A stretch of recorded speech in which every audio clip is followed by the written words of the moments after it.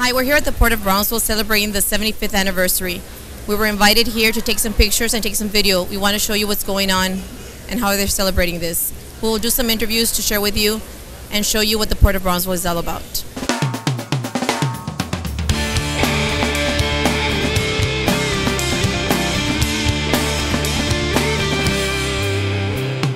Good afternoon. We're here with Ralph Cowan. Ralph is one of the commissioners at the Port of Brownsville, and he's going to explain what's going on today. Well, today we're celebrating our 75th anniversary, Melissa, and we're so happy that all these all the citizens of Brownsville are turning out because this is their port. This is all for them and about them and for our prosperity. The port provides 38,000 direct and indirect jobs, so it is a real it's a real economic generator for our community. It provides a lot of jobs and good paying jobs, and this is what we need. And where is the Seaman Cove located? The Seaman International Seaman Center will be uh, right here at the end of the harbor next to the harbor master's office.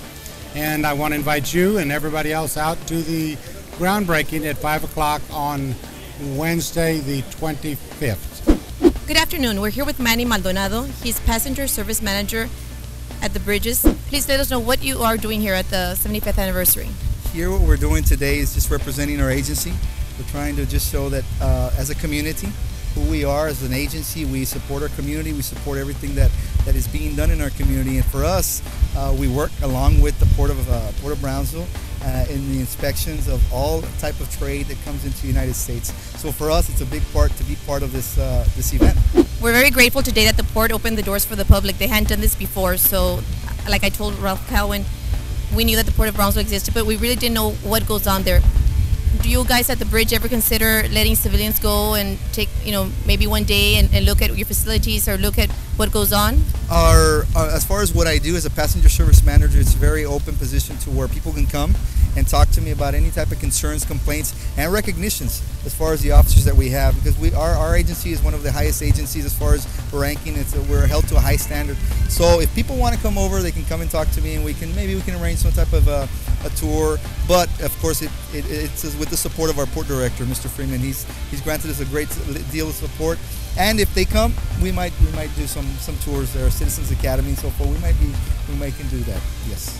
And please share with us where is your office located? It's uh, located at the Gateway International Bridge, but I'm also at all the other ports of entry from uh, Los Tomates, Veterans, uh, B&M Bridge, and Gateway Bridge, and also Los Indios Bridge. So. Okay, thank you so much for the interview, and I can vouch for Manny. If ever you need him, he'll answer. Thank you. Buenas tardes, aquí estamos con el cónsul de México en el 75 aniversario. Buenas tardes, cónsul. Díganos qué está haciendo usted aquí. Pues vengo a participar de este gran evento que significa un aniversario más, el 75 de este extraordinario puerto. He leído sobre su historia y la verdad, verdaderamente estoy impresionado, pero más impresionado estoy por todo el desarrollo que se avecina. El puerto de Brownsville está destinado a ser uno de los grandes puertos del Golfo de México y quizás pueda ser superior a Galveston, que lo tenemos aquí cerquita, en unos años más. Así que participando y conviviendo con las autoridades y con toda la comunidad en este magno festejo. ¿Usted ya había visitado el puerto antes? ¿Ya sabía que se trataba aquí Claro que sí, y lo había visitado por una cuestión muy importante. Cada vez que hay una especie de huracán, de tormenta eléctrica, las autoridades norteamericanas, la Guardia Costera, ponen en operación la figura jurídica que se llama Puerto Seguro. Y entonces todas las embarcaciones mexicanas que se encuentran aquí en el Golfo de México, aquí cerca del límite fronterizo, los traen al puerto, los protegen y los cuidan hasta en tanto pasa la tormenta eléctrica. He venido en dos ocasiones a verificar el estado en que se encuentran todos los pescadores mexicanos y siempre, créanmelo, he recibido el apoyo de todas las autoridades para poder asistir a nuestros compatriotas. El puerto va a tener tours de autobús mañana y va a tener tours por medio de barco próximo sábado. Este, no sé si usted vaya a ser parte de eso también, igual si usted quisiera invitar al público que viniera y tomara ventaja de esta oportunidad. Mire, yo ya estoy inscrito para mañana a las 9 de la mañana junto con mi esposa. Quiero tomar ese, ese, ese tour, esa, esa visita guiada que nos ofrecen a toda la comunidad. Es gratuita. Los exhorto a que todos vengan a conocer el puerto, el interior, los medios de operación. Los vamos a poder conocer el día de mañana a través del autobús y el próximo sábado en un buque. Creo que esta es una oportunidad extraordinaria para poder conocer mejor a, una entidad, a una empresa que es muy importante en la vida, no solamente de Brosville, sino de todo el norte de México. Monterrey es uno de los principales abastecedores de este puerto. Es, es un honor que usted esté aquí. Le damos muchas gracias por apoyarnos a Bronzeville, que esté presente y que esté representando a la gente de México. Muchas gracias, Consul. Muchas gracias a ustedes y por favor súmense a los festejos del puerto de Brownsville en su 75 aniversario. Good afternoon. We're here with Manuel Ortiz. He's the Public Information Officer of the Port of Brownsville. Hi, Manuel. Tell us what we're celebrating today. We're actually here celebrating our 75th anniversary, and it's the first time since September 11th, 2001, that the port actually opens up its doors to the public.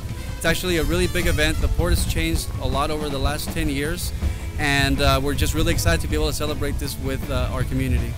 Buenas tardes. Estamos aquí en el puerto de Brownsville con el alcalde Pat Ahumada y con el presidente municipal Alfonso Sánchez. Buenas tardes y gracias por acompañarnos. Dinos, Poncho, ¿por qué estás aquí visitándonos este día?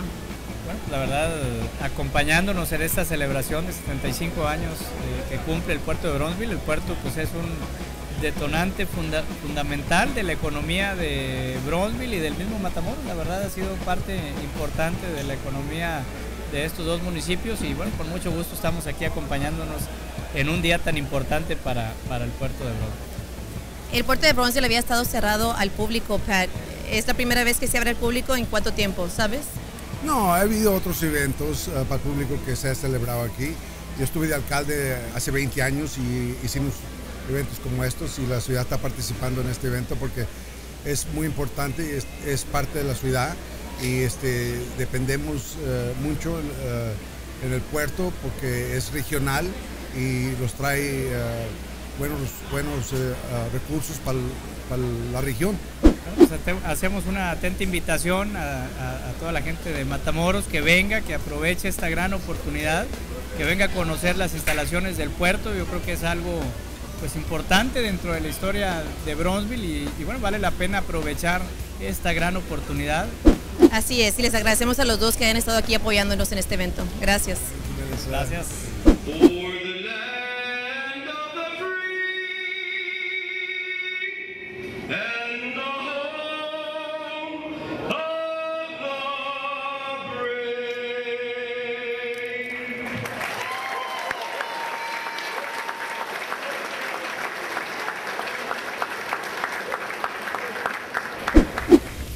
Amigos, gracias por acompañarnos. Para nosotros ha sido un placer, un honor estar aquí en el puerto. Los invitamos, vengan mañana para que aprendan más del puerto. Pasen buenas tardes.